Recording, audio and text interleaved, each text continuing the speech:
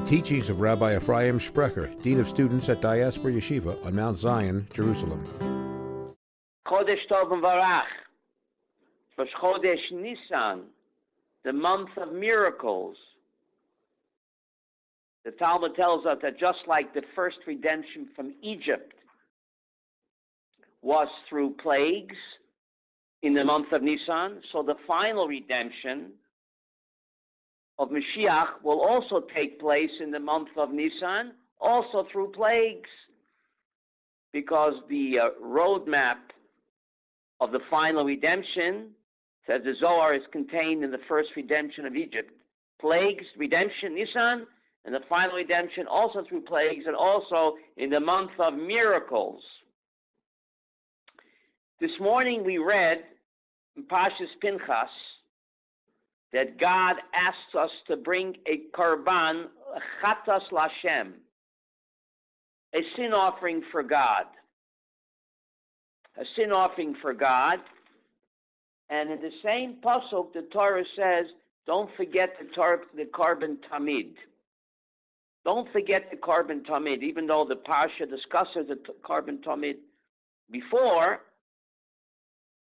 But the Torah in Bamidbar 28, Pasuk 15, says that every Rosh Chodesh, this was the reading this morning, in every Rosh Chodesh, to bring a korban, a sin offering for God, and also to bring the korban tamid.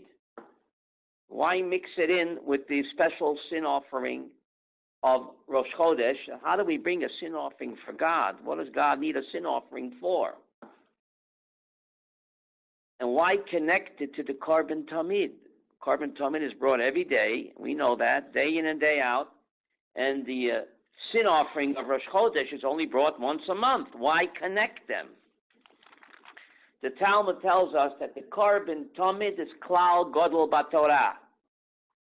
A major principle of the Torah is the korban tamid.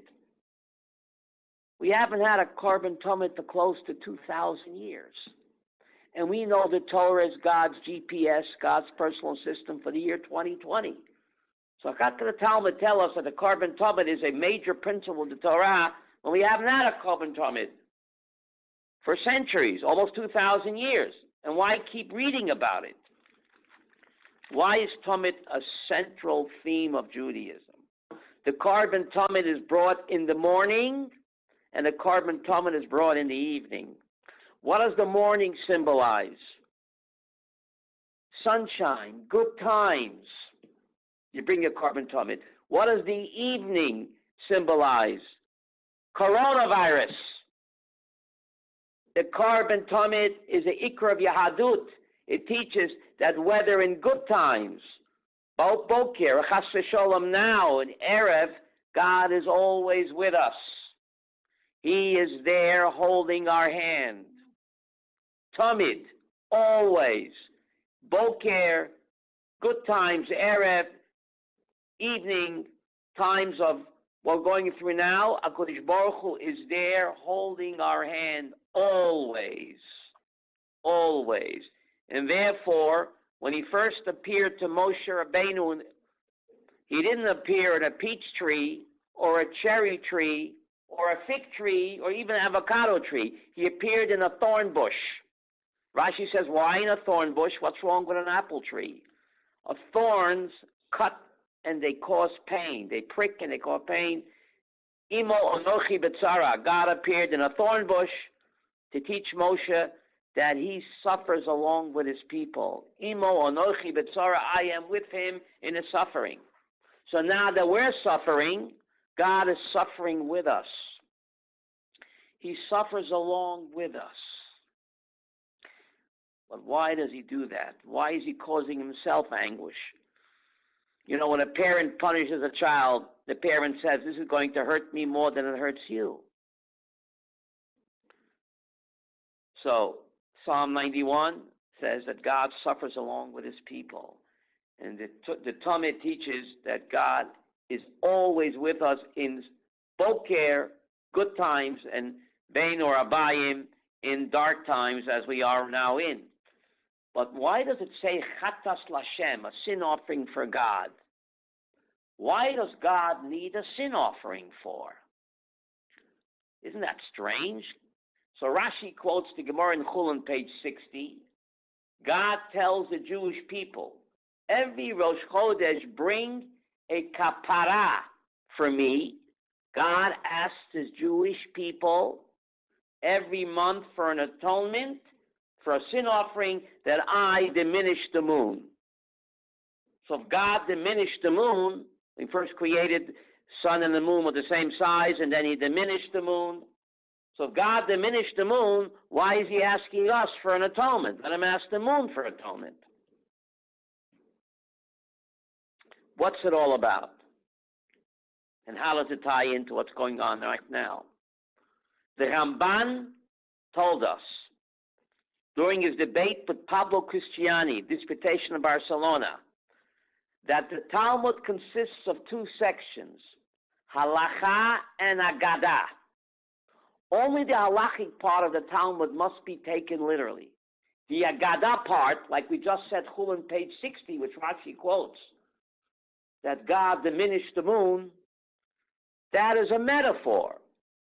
What mean God diminished the moon? It's a metaphor.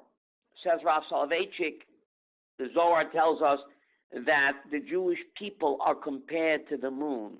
Therefore, we follow a lunar calendar. Our destiny is the moon. We are like the moon. The, the moon is surrounded in blackness. Totally darkness, blackness, representing all the suffering and sorrow the Jewish people go through. And it looks like we're about to disappear. The moon looks like it's swallowed up in darkness and blackness. But every month it comes back. That is the Jewish people. That is the power of Chodesh of Chidush. God gave us the power of the moon to rejuvenate us, to renew ourselves, despite being surrounded by blackness and all suffering and persecutions and Holocaust. Three years after the Holocaust, our people were destroyed. We come back and we rise like a phoenix from the ashes. How is that possible? Who comes back after 2,000 years? Nobody comes back after a Holocaust and after 2,000 years to rebuild this wonderful country, the start of a nation, the envy of the entire world. Israel, that's the power of rejuvenation contained in the mitzvah of Rosh Chodesh. We are the moon surrounded by blackness and darkness and looks like we're totally wiped out, and we keep coming back.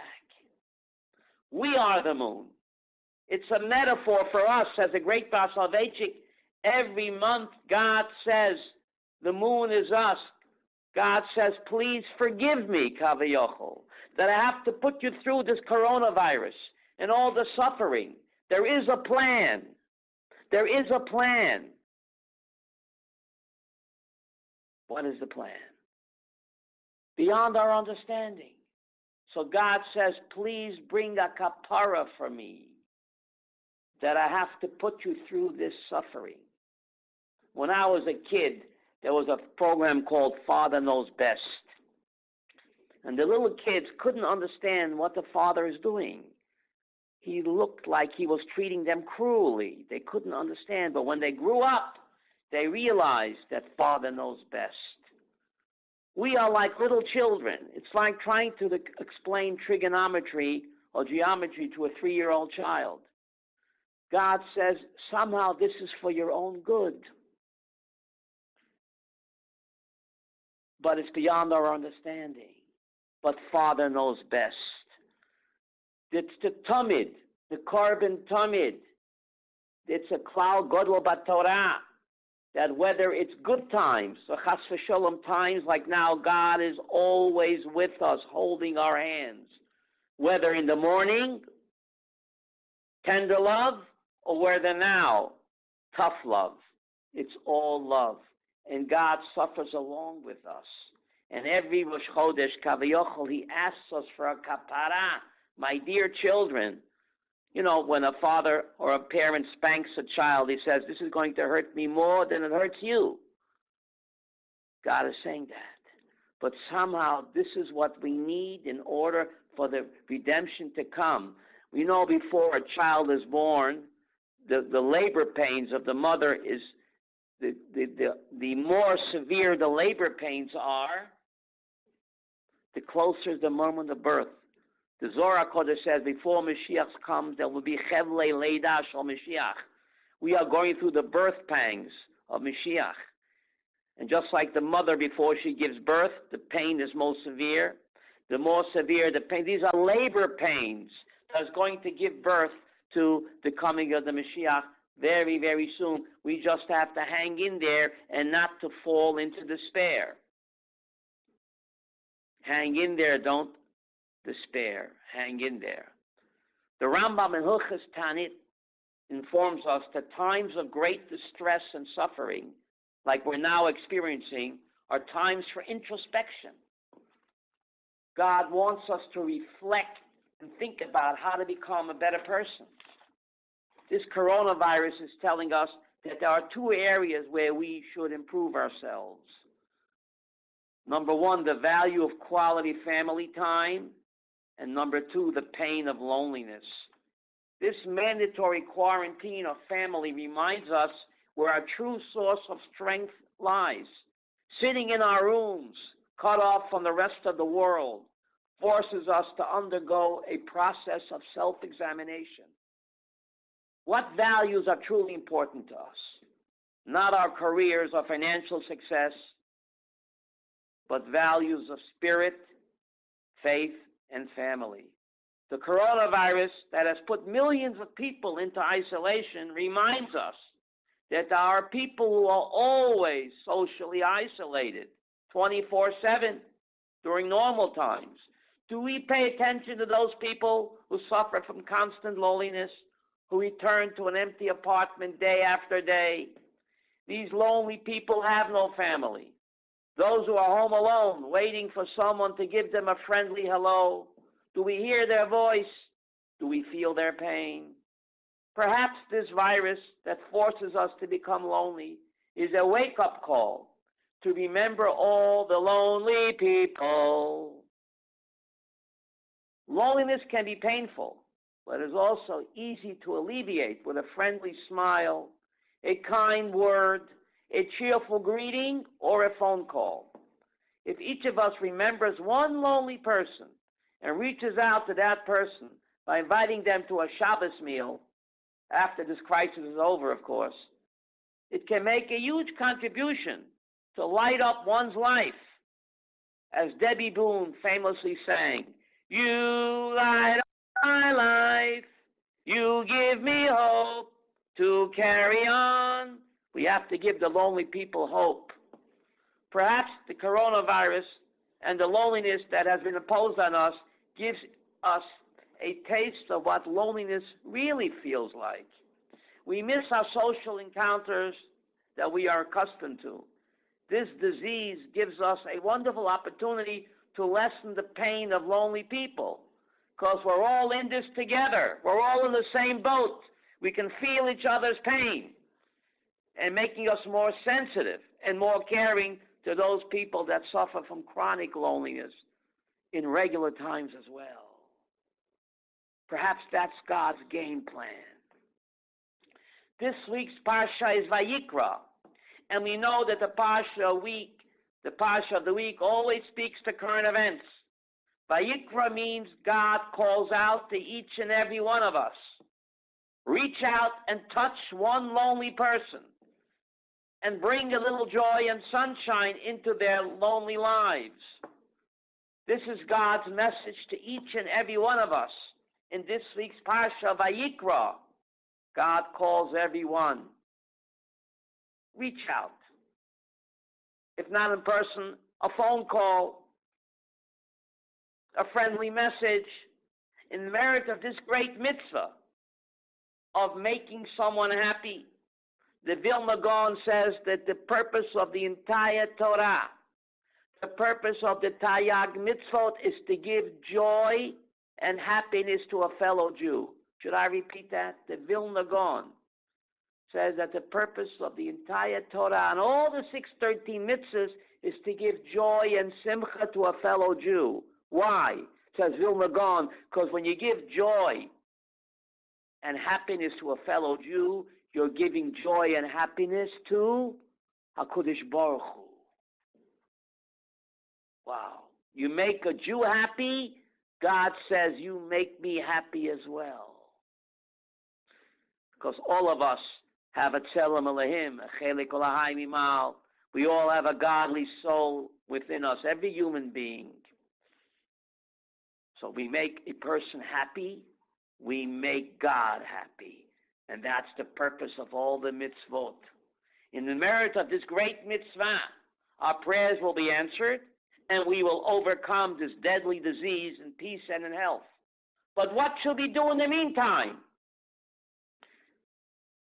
The prophet states that in the dawn of the messianic era, Isaiah 26:20, it's incredible. What the prophet said about 2,700 years ago in Isaiah is the prophet that speaks about the messianic era. He states in 26:20 that in the dawn of the Messianic era, God tells him, listen to this, quote, Go, my people, enter your rooms and close your doors behind you. Hide for a while until the wrath and plague has passed. Isaiah 26:20. God bless you. Shabbat Shalom. Chodesh Tov Barach.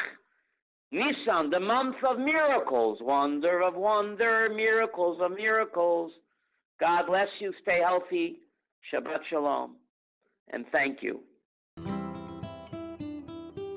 For more of Rabbi Sprecher's teachings, visit rabbisprecher.com.